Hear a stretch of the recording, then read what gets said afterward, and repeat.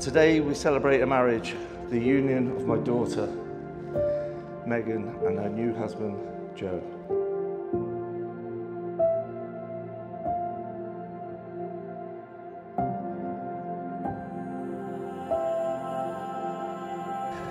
I cannot begin to tell you how very proud we are to see Meggie looking so, so beautiful.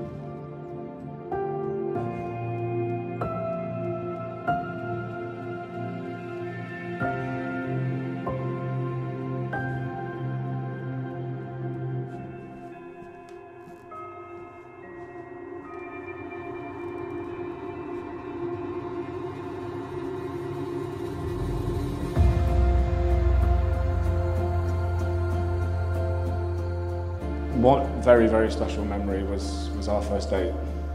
And our first date wasn't the most glamorous of dates. For those from Swindon will know what I mean. It was walking from Swindon town centre through to Greenbridge, Cineworld, and Frankie and Benny's. Um, I was there in my triple XL hoodie, Slim Shady of course, and Meg was in her funky monkey top, all dressed up. But I can honestly say that walking from town centre to that cinema, I, I never wanted that walk to end.